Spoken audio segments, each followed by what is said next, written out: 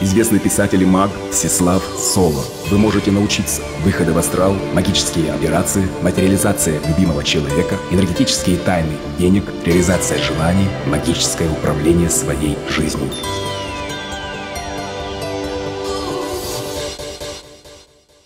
Я приветствую всех телезрителей нашего телевизионного канала NERS TV. В эфире 26-я телевизионная передача нашего канала. И я, его ведущий, Всеслав Соло. Сегодняшняя наша передача построена на вопросах и ответах. Вопросы мне задает мой соученик, уже ранее немножко известный вам, мой соученик Раций. Давайте послушаем его первый вопрос. Здравствуйте, Всеслав Маркович. В 23-й передаче вы говорили о том, что человек не знает истинной цели своей жизни. И отметили, что ни одно философское мировоззрение, ни одна религия не отвечают на этот вопрос. Как быть человеку? Вот родился маленький человечек, он познает мир, задает вопросы, получает на них ответы, легко или трудно. Но существуют вопросы, которые лежат за гранью науки, за пределами обычного человеческого знания. Вопросы, на которые можно рассуждать годами, тысячелетиями. Как человеку найти истину? Как узнать, что знание, которое к нему приходит, не ложно? Есть ли критерии истинности? Критерии истины?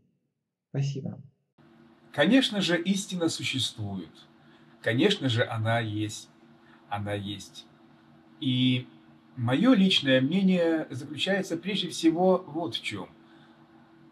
Что все, что разъединяется, все является неистинным. Все, что объединяется, является истинным. Вот смотрите, я считаю, и считаю, что я прав, совершенно, что если какая-то религия приемлет только себя саму, отрицает все остальные религии и даже, может быть, презирает их, а может быть, даже преследует и ненавидит, убивает их, то есть любыми путями сама гордится и кичится своим существованием, отрицая все остальное, которое тоже тянется к Богу, то такая религия обязательно, извините меня, ложная. То есть в ложном очень легко разобраться. Если человек стремится к разъединению, это уже ложный путь. Это точно не, не путь к Богу, ко Всевышнему, только объединяющее начало является истинным. Ну, постепенно мы с вами это поймем. Я сейчас постараюсь вас поучить, как это понять. Вот существует некая лестница в небо, так я говорю своим соученикам на своих живых вечерах, на занятиях. Лестница в небо, а, олицетворяющая собой путь к Богу. Ступени у этой лестницы – это наше невежество. То есть, совершая какие-то грехи, совершая какие-то злодеяния, может быть, даже невежественные э, пути, пробуя в своей жизни, мы потом начинаем каяться, осознавать что-то, делать выводы. А это что? Это мораль, это основа, это поручни. Да? Вот получается поручни – это вот наша возможность понять, что мы шли ложно. А ступенька – это все-таки очередной шаг к Богу по лестнице вверх. Путь к Богу. Значит, следовательно, не совершивший грех и не проанализировав его, не сделав соответствующих выводов – не раскаясь, мы не сможем выше подняться по этой лестнице в небо, к Богу. И все наши шаги обязательно идут через невежество. Обязательно через невежество. Грешите, но кайтесь, сказано. И это справедливо. Сами понимаете, без поручней по лестнице далеко не взберешься, даже отдохнуть не сможешь. Свалится человек, да, и разобьется. И без ступенек на одних поручнях тоже далеко не уедешь, на одной морали и на одном представлении об истине.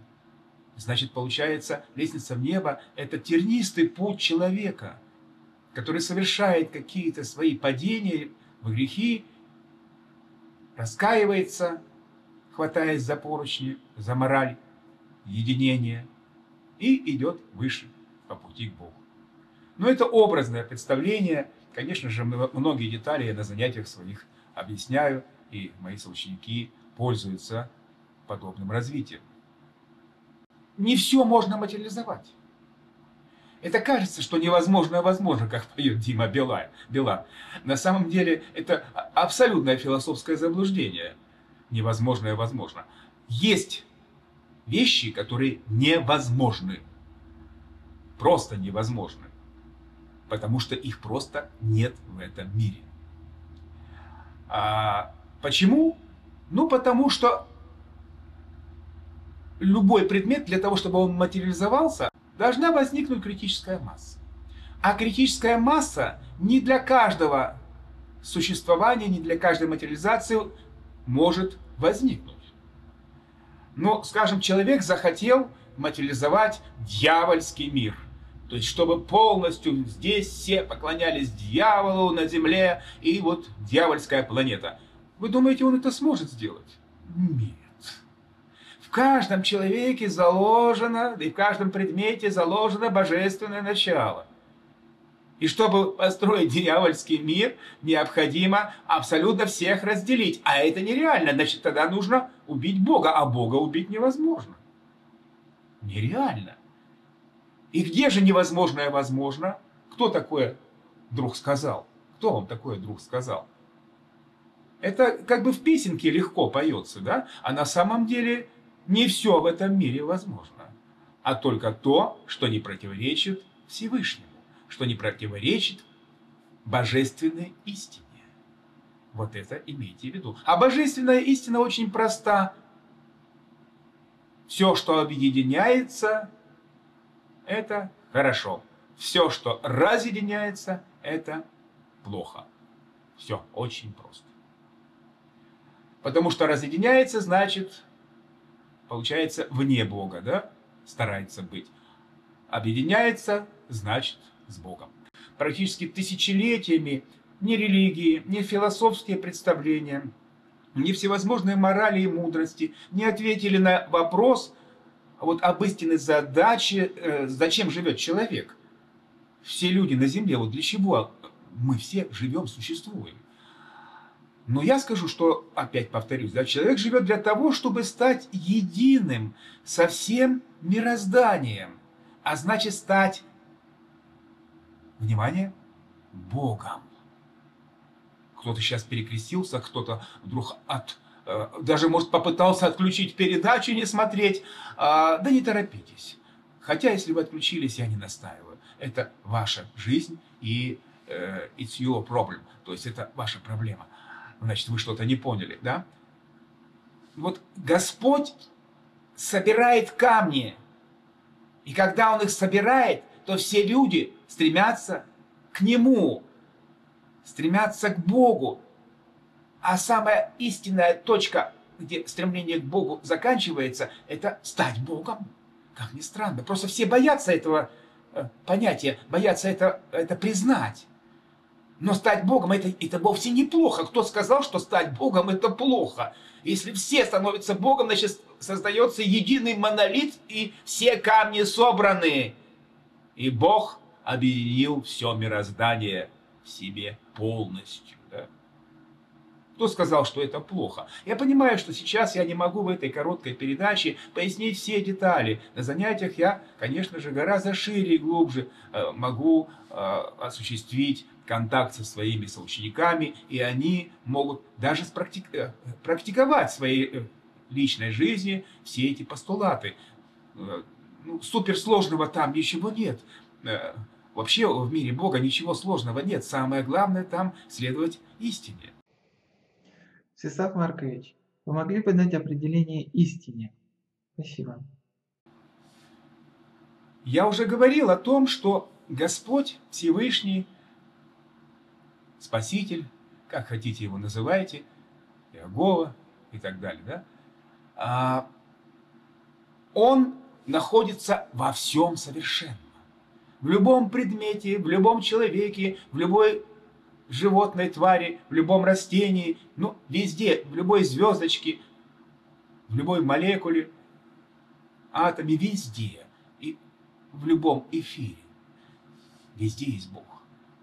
Эфире, который скрыли, урезали из таблицы Менделеева некоторые личности. Надеюсь, они его скоро вернут на место. Так вот, сейчас мы с вами должны понять, что ж такое истина. Да, действительно, что такое истина? Кто-то сейчас может подумать так, что в этом мире все изменяемо, в этом мире совершенно все находится только в движении, и без движения не существует. Трудно с этим не согласиться. Конечно, все, что мы абсолютно можем видеть, пощупать, подумать, почувствовать, все в этом мироздании есть только благодаря движению. Это мир движений, мир сравнений, мир скоростей, да? мир скоростей, в котором мы живем. И вне скорости ничего не существует. Это же и получается мир иллюзии. Останови любой предмет, и он исчез. Он сразу перешел в состояние торсионного поля, как говорят определенные физики, где есть все и ничего нет, потому что нет отношений, нет потенциалов, нет полей. Но это отдельный разговор, кому это очень интересно, можете почитать и в интернете, и специальную литературу о торсионных полях. А физики меня сейчас уже поняли. Значит, получается, предмет вне движения не существует. Останови любое мгновение, оно тут же исчезнет. Все очень просто. Но вот интересная штука получается. Значит, тогда истина – это обязательно что-то сдвигаемое, что-то меняемое, что-то постоянно изменяющееся. То есть получается, ну как гидра, что ли, подстраивается истина под любые понятия, э, как на восточном танце, да, и под любые философские мировоззрения и религиозные представления. Что ж такое? Получается, истина это вообще такая вот э, э, коммуникация, которая э, всех понимает и, и со всеми согласна, да?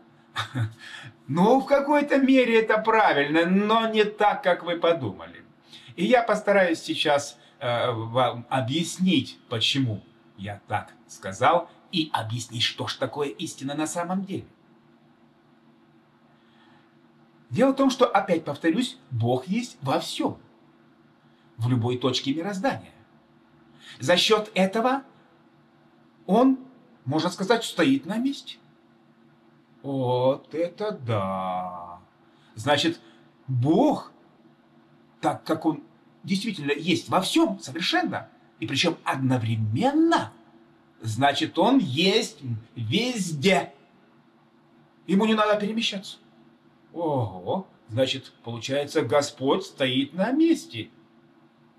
И одновременно у него самая громадная скорость, потому что он может от, объекта, э, от одного объекта, от одного предмета к другому просто ну, вот мгновенно перенести любое чувство, любую мысль, любое воплощение, любую метаморфозу, э, изменение формы там, и так далее. То есть получается, Господь находится Всевышний одновременно сразу во всех точках, во всех абсолютно точках мироздания, да, а за счет чего, получается, стоит на месте, ему как бы не надо перемещаться, но за счет этого, что он есть везде, во всех точках мироздания, он имеет самую громадную, потолочную скорость этого мироздания. Представляете, интеграл, физики сейчас меня поймут хорошо, да? Значит, интеграл только у Бога. Самая громадная скорость и самая остановленная – это и есть Бог. Так. Значит, в этом мире одно только неизменно – это Бог. Кстати, по подобию которого все и создано в этом мире, в том числе и, Госп... и Господь создал и людей так называемых, да? Нас, то бишь. Следовательно, раз это так, то мы можем равняться только по Всевышнему. И вообще все может равняться только по Всевышнему. И тянуться к Нему, стремиться к Нему, путь обретать к Богу, отыскивать Его и проявлять в своей судьбе любой предмет, любой человек. Так живет. Значит, получается, у нас есть только одно подобие, по которому мы равняемся. Это Господь Всевышний. А если это так, значит Он, Он, Он и есть истина. И никто и ничто более.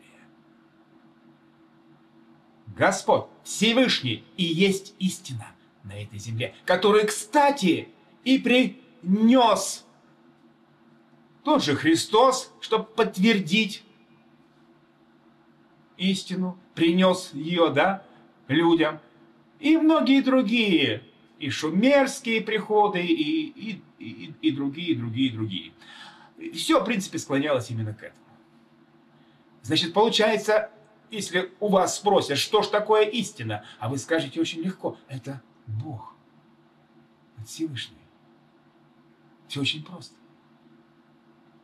Потому что все стремится к Нему, и это единственное, что неизменно в этом мире находя, находится во всех точках мироздания, неизменно. И это единственное, почему мы все можем равнять. Мы все можем равняться. Что еще может быть глубиннее, шире и истиннее, чем Бог? Значит, истина, дефис, это Бог. Вы говорите о том, что человеку на пути к Богу необходимо посвящение – посвящение первопричины. Вы не могли бы рассказать, что такое посвящение и как его можно получить? Спасибо. Господь – это истина, мы сказали. А истина и первопричина – это разные вещи или суть одно и то же? Давайте попробуем ответить на вот на этот вопрос, очень интересный. Я вам скажу, что истина – это одно понятие. А первопричина, вот, а это уже другое понятие. Потому что истина – это то, почему все равняется и куда стремиться. А первопричина – зачем стремиться, для чего стремиться. Вот первопричина – это уже сам путь. А истина – это по которой равняется Бог, да? При каждом шаге по этому пути. Вот первопричина, что же она себя представляет? Ну, понятно, это, это направление, это путь к Богу. Путь, чтобы стать Богом. Не пугайтесь, привыкайте потихоньку к этому состоянию. Потому что конечная точка развития человека – это стать Богом. Но это не значит кого-то сместить, а объединиться в Боге, да? Значит, раз это так, это первопричина, то, наверное, вот не сразу пришел человек, допустим, ко мне заниматься, и вдруг он получил вот сразу посвящение первопричину, и все, он уже, говорится, Бог. Да? Ну нет, конечно, нет. А посвящение в первопричину, это значит что-то начальное. Да? То есть оно делится на какие-то этапы, на множество разных возможностей и последовательностей. И вот именно вот эти последовательности и возможности я объясняю на своих занятиях. Как человек их должен проходить. Но я никого не заставляю, никого не подталкиваю. Я никому даже не говорю, что нужно сделать для того, чтобы вот это посвящение получить или вот это. Ни в коем разе. Я просто объясняю свое учение, человек его выполняет, он живет им, дышит им. Кстати, оно совершенно не мешает быть балериной, президентом или кем-то, кем угодно. То есть э, э, учение, оно совершенно помогает только любой профессии, да, и в любом развитии. Это как бы справочка маленькая. Так вот, человек живет, осуществляя освоение учения, и вот эти этапы посвящения, которые он знает, они возникают у него, у него в жизни самостоятельно. Поэтому, да, без посвящения в первопричину человек слеп, да? Он не может ничего видеть, куда идти, зачем. Вот я привожу такой пример, сейчас приведу, и вы сразу поймете. Что я делаю для своих соучеников? Прежде всего, я им говорю, представьте себе, что вы шли в каком-то огромном помещении, в котором абсолютно темно. Вот мгла, да, кали, говорится, глаза ничего не видно. И оно огромное. И там очень много разных капканов, разных ям, каких-то вот, э, мечей, острия торчат какие-то, да, иглы, везде там какие-то гвозди, какие-то ужасы, какие-то чудища. И человек шел, или вот вы даже, там, допустим, идете по жизни, и вот в этом ангаре, огромном помещении, натыкаетесь на, на какие-то неприятности, на какие-то э, злодеяния, на ужасы, и не понимаете, за что, почему, и кто-то даже в пропасть там падает и погибает. А придя ко мне на занятие, он вдруг получает, ну, скажем, возможность зажечь свечу, да? А может фонарик, может просто спичку даже зажечь для начала. И вдруг увидит, вокруг себя человек видит, реально, энергетически видит и понимает, умозрительно, какие же уродища теней вот этих вот ужасов обступают его по жизни. Что ему делать? Конечно, теперь он знает, что вот здесь бы, если он шаг не сделал вот так, на 30 сантиметров, он бы упал в пропасть. Но он теперь сделает их на 30 сантиметров, потому что хоть прищур, в прищур, но он видит, что вот там пропасть, и он туда не пойдет. Понимаете? То есть я даю вот это вот, это вот э, первичное посвящение, даю огонь, даю свет – и человек сам освещает путь, свой путь к Богу. И он видит эти возможности, где перепрыгнуть, где пройти, где чуть-чуть назад отойти и опять пойти в другую сторону может. Но все равно будет идти правильно и как минимум меньше расшибать себе голову, раздирать свою плоть и идти к Богу, понимаете? И попробуй затуши эту свечку, которую дал я на занятиях.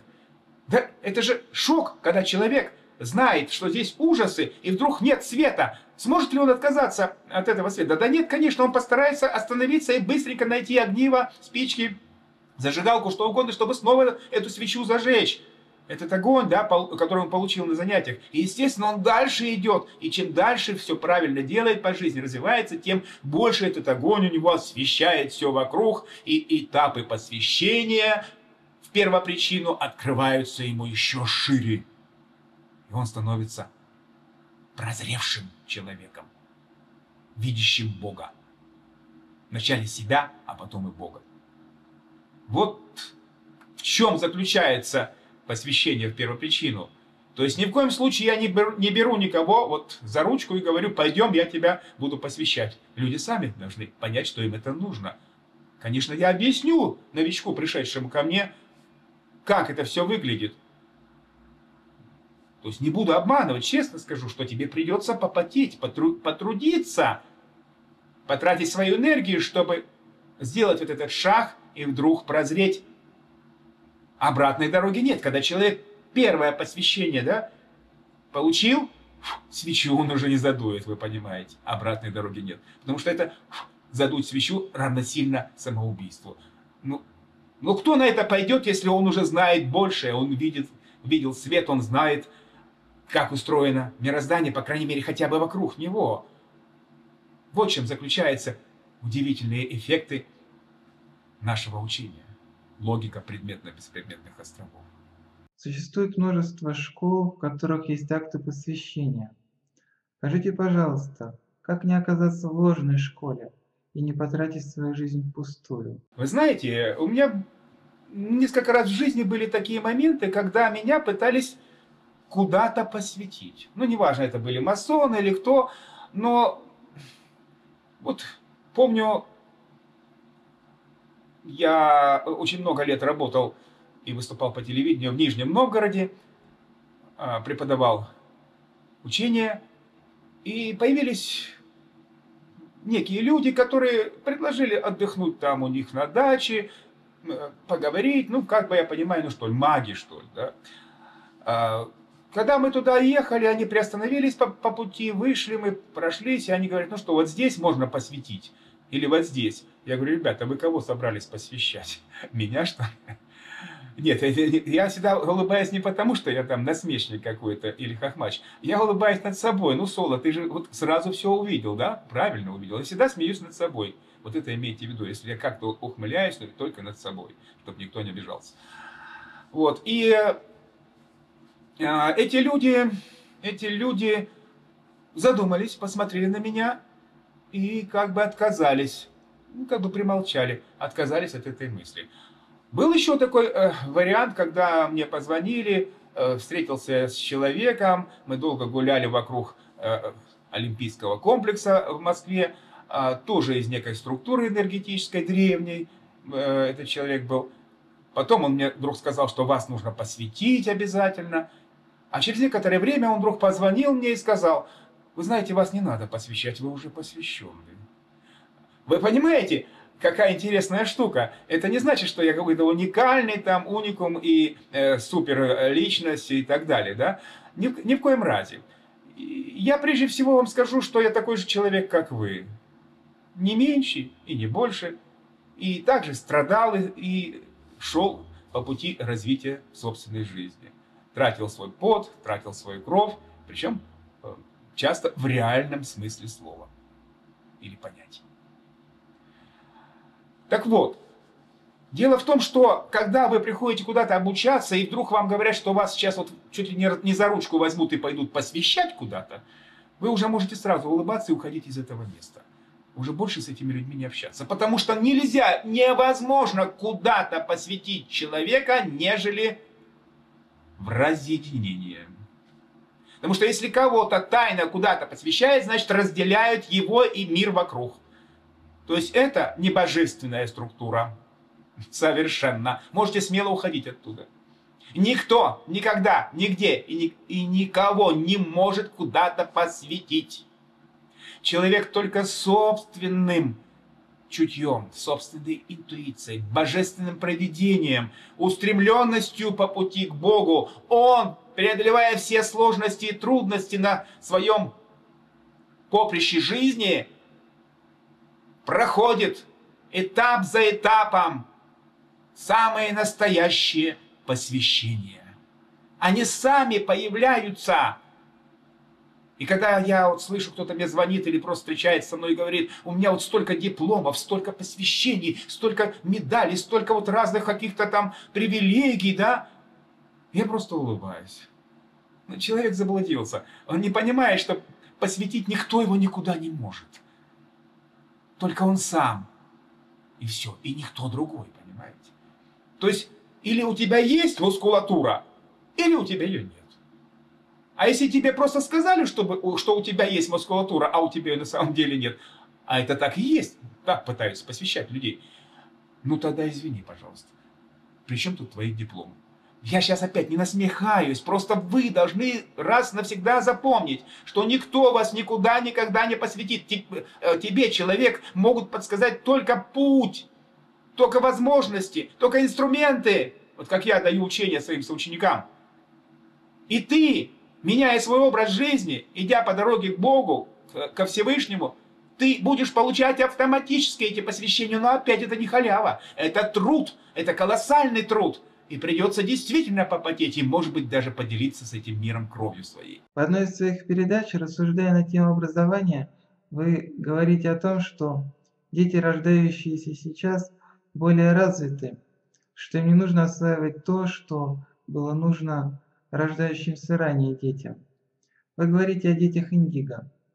Вы не могли бы рассказать, кто такие дети Индиго? Я считаю, что здесь не надо сильно уж так э, разлагольствовать, да, как-то вот умудряться и э, прикидываться э, таким философски настроенным, умудренным человеком, что индиго это, ну и так далее. То есть я не думаю, что нужна здесь суперпоэзия. Здесь важно понять суть. Очень интересные вот такие вот в народе есть э, поверья, да, ой, мальчиков много родилось, это никак к войне. не, я не хочу сейчас никого пугать, никакой войны не будет, все будет хорошо, не волнуйтесь. Просто, ну, в народе так вот как бы приметы есть, да? А как бы народ сказал, что вот очень много рождается индиго, и чем дальше, тем больше плотность индиго увеличивается на земле среди детей, да? Ага. То народ как бы сказал, это к чему? Ну уж явно не к войне, да? Потому что они рождаются необычными, как вот Рати сейчас э, пояснил, и, исходя из, из того материала, который он знает, знал, и в передаче я упоминал, 23 как он выразился.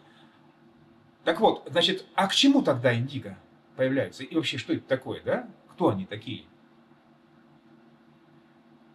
Значит, это не просто дети как бы э, из будущего, да, если так улыбнуться и назвать их известным э, фильмом художественным «Гости из будущего». Это не гости, нет, это люди пришли, которые пришли что-то менять. Вы же понимаете, когда на Земле увеличится плотность каких-то определенных профессий или каких-то определенных вот даже э, полов, там женских, больше, э, больше женщин рождается или, или мужчин, то есть мальчиков или девочек, то это обязательно к чему-то. Так вот, к чему индиго?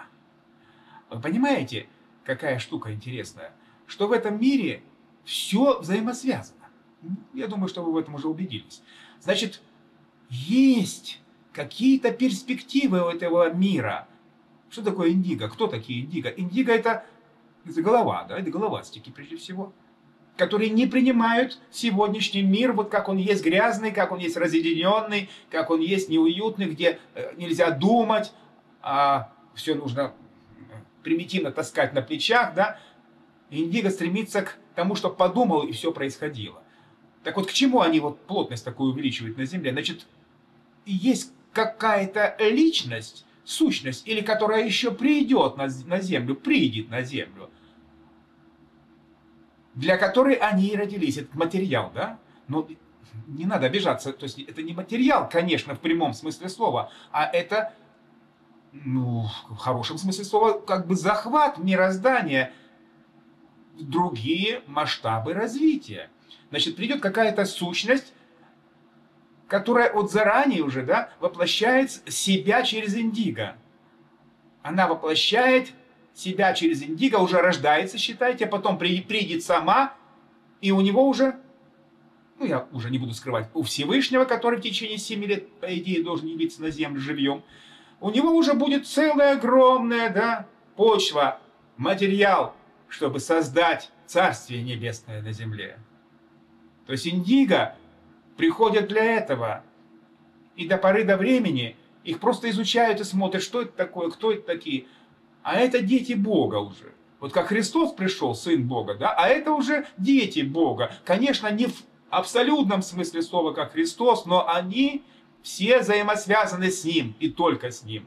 И они ждут только команду, идею, да, главное, приход Его. Они тут же все откликнутся. А сейчас они потихонечку, что, захватывают мир. Ну, в хорошем смысле слова, не как фашисты с ружьем, да, а они его просвещают, они в нем выделяются, и они обращают на себя внимание всех в этом мире, а следовательно, волю этого мира собирают для прихода Всевышнего. Это вот мое личное мнение. Скажите, пожалуйста, зависит ли рождение ребенка индиго от пары мужчины и женщины? Или ребенок индиго может родиться у любой пары? Скажите, есть ли возможность зачать ребенка индиго? Рати, э, рождение ребенка индиго ну, практически не зависит от пары, хотя и зависит. То есть как бы вот зависит и не зависит. Сейчас постараюсь пояснить. А, конечно, можно вычислить, можно подготовить себя и действительно родить индиго. Но вы сейчас поймете, что это из себя представляет. Как подготовить, если это вообще реально, да? А это, ну, в какой-то мере реально то есть родить ребенка индиго, в какой-то мере реально. Сейчас мы поясним, зависит ли да, рождение ребенка индиго от какой-то пары. Ну вот смотрите, вы уже в предыдущем материале который я высказал, отвечая на предыдущий вопрос, Ратия, поняли, что ребенок Индиго пришел, родился на эту землю как часть Господа, да, как инструмент для создания Царства Небесного, построения на земле этого Царства.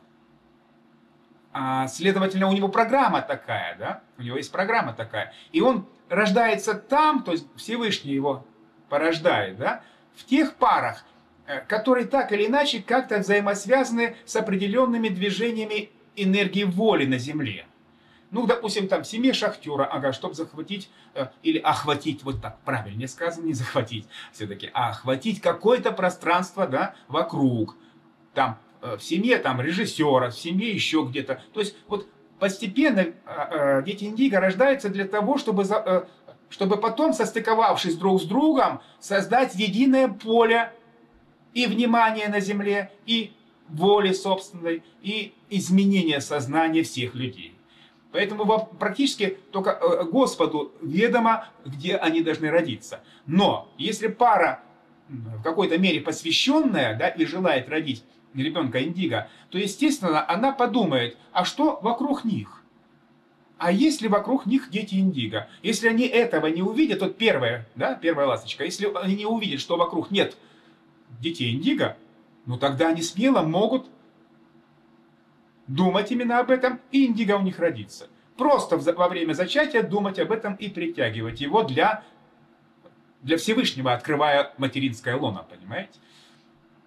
И он родится, и он родится. А если же они видят, что рядом где-то есть ребенок индиго, может сосед, да, может, а может у них уже один есть ребенок индиго, но тогда они должны подумать или увидеть, да, проанализировать, а на что он склонен, куда он развивается, может его интересует изобразительное искусство или там еще что-то, а тогда они должны подумать о следующем ребенке, если это, допустим, сосед развивается, он спортсмен, да, ну видно, что он будет спортсменом а, в спорте, да, будет индиго собирать людей. А они тогда должны подумать, что, что не хватает вокруг вот них, да, а, какого именно начала энергетической состыковки, а, какого образа жизни. И вдруг поймут, ага, у них не хватает, э, скажем, такого активного в доме, да, живущего предпринимателя, такого, может быть, средней даже крупности э, бизнесмена.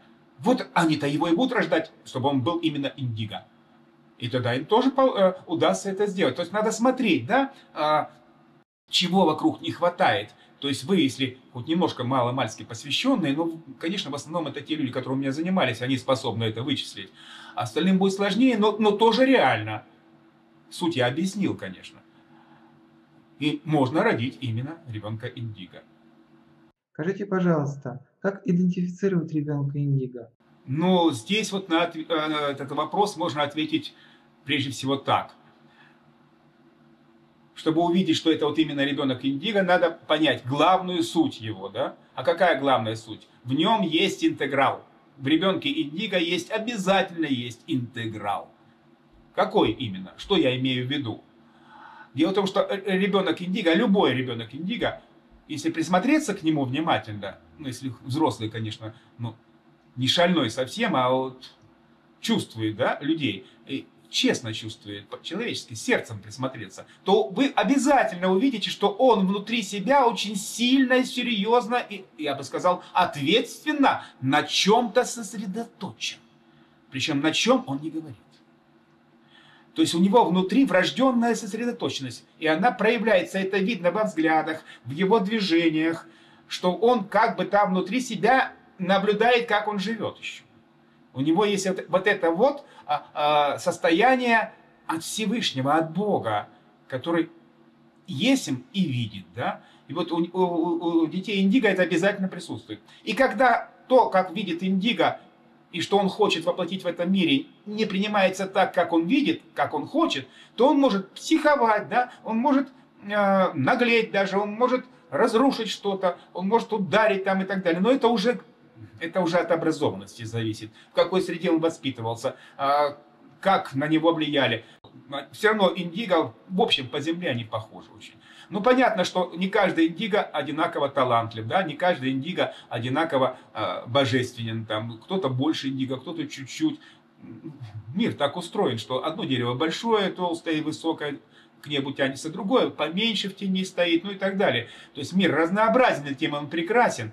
И вот индиго также, естественно, они э, всевозможного могут быть э, и масштаба, и возможности там, и так далее. И тому подобное. Но вот главное в индиго, запомните, это внутренняя интегральная сосредоточенность. Почему интегральная? Потому что внутри он на чем-то сосредоточен, а во внешней среде, да, он постоянно ищет опору для этой сосредоточенности. Вот в любом своем движении, в любом требовании, в любом э, голосе, да, э, интонации и так далее и тому подобное. Если вы это увидите, вы поймете, что это и есть центральная суть индиго, то есть по подобию Всевышнего.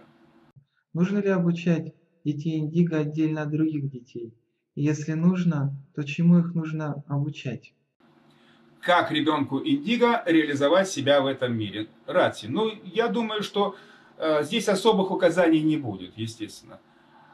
Если вы заметили, что вы индиго, а это очень легко понять, просто присмотритесь к себе, почувствуйте себя, и вы, вы увидите глубинную сосредоточенность внутри, которая вам, может быть, еще не ясна. Но она где-то не здесь, а где-то за пределами этой жизни. А, кто-то больше ее чувствует, кто-то меньше, но если такое есть, и вас остальное все раздражает, как будто вы невидимо, незримо постоянно с чем-то что-то сравниваете, да, Э, и не принимаете. То есть как будто вы что-то знаете, то, что должно быть на самом деле, а этого нет. А что знаете, не знаете. Так вот, как реализовать себя? Прежде всего, нужно просто расслабиться, улыбнуться хорошо и сказать, да, я особенный, ничего в этом страшного нет. Я живу, я развиваюсь, я стремлюсь к знаниям, к получению профессии, чего угодно. Я на своем месте. Все нормально придет время, и все остальное я выполню. Выполню по подобию того, что во мне заложено. Вот это вот нужно помнить и действительно больше улыбаться каким-то э, несоответствием вокруг вас. Ну, по крайней мере, вы будете так больше сглаживать э, свои отношения, э, свои нервозности, да, и так далее и тому подобное. И, и, и, конечно, идите и учитесь какой-то профессии, да, занимаетесь любимым делом каким-то, потому что вы рождены на своем месте, все нормально. Может быть, вы резко поменяете даже место жительства, не страшно, это значит судьба ваша такая. То есть живите, как и все, по судьбе. У вас также есть судьба. Здесь только одно надо помнить, да? Вы пришли не просто так, у вас есть особое предназначение. Но это не должно вас выводить на гордыню, что вы самый лучший, что вы божественный там и так далее. Нет, ни в коем разе, не надо так думать. Чем больше вы так будете думать, тем больше Бог не примет вас. То есть вы должны наоборот думать, что вы любите всех людей, всех вокруг. Да, они неразумны. Да, они чего-то не понимают, чего еще и вы сами не понимаете. Но наступит время, они все поймут. И поэтому вы, поскольку вы, поскольку вы носитель неведомого пока для вас удивительного чего-то, да, нового на земле, вы должны быть снисходительны к людям. Снисходительны к ним. Вот что я могу вам посоветовать, уважаемые индиго.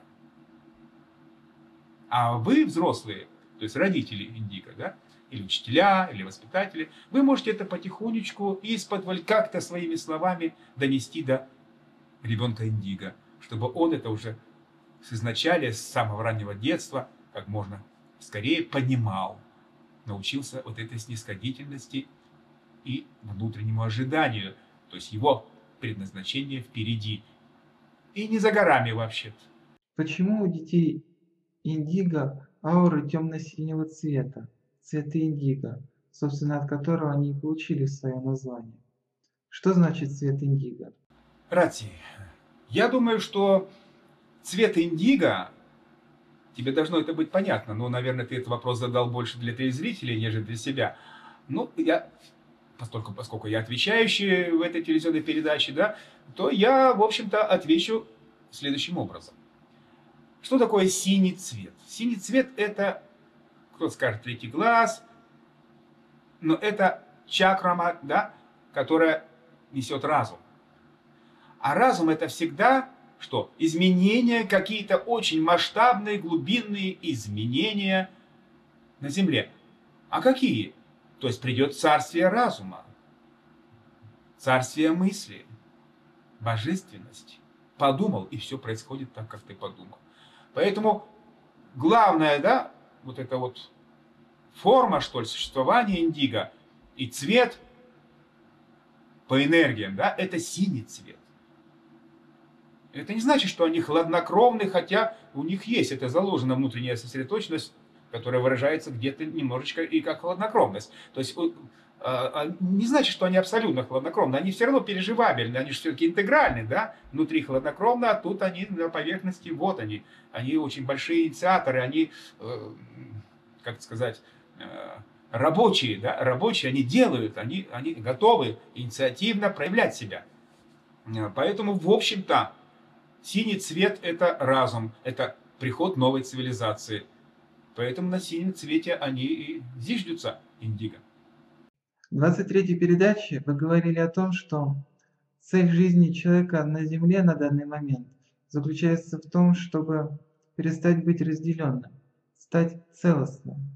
Скажите, пожалуйста, какова цель человека, какова цель его жизни будет тогда, когда настанет Царствие Небесное?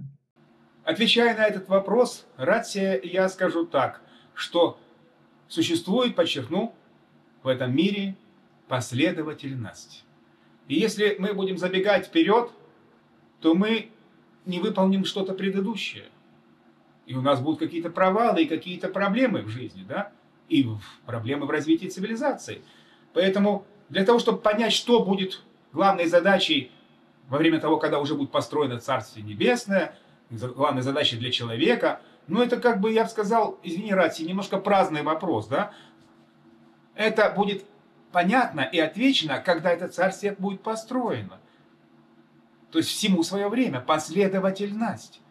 Это хорошо, что тебя терзают такие вопросы. Я думаю, что у кого-то они тоже будут хотя бы на подсознании появляться. Но это не значит, что сейчас я вот четко отвечу на этот вопрос. Хотя я знаю ответ. А, опять, это не потому, что гордыня, что тебе скажи и, и, и тебе захочется. Нет, ни в коем разе. И это не интрига какая-то или вот специальная моя вот такая вот система заинтересованности, что ли. Просто э, всему свое время. И этот ответ сейчас будет просто не в попад. Он может даже обрезать кому-то крылья. А может кому-то по его неразумению не понравится. А значит, он будет больше противиться строить это царствие, понимаете? То есть ну, есть же и невежественные люди, которым может и не понравится что-то, да, когда Царствие Небесное наступит, э, что, что там делать, да. Давайте не будем торопиться, э, все-таки всему свое время. Пускай пирог поспеет, и тогда гостей мы накормим.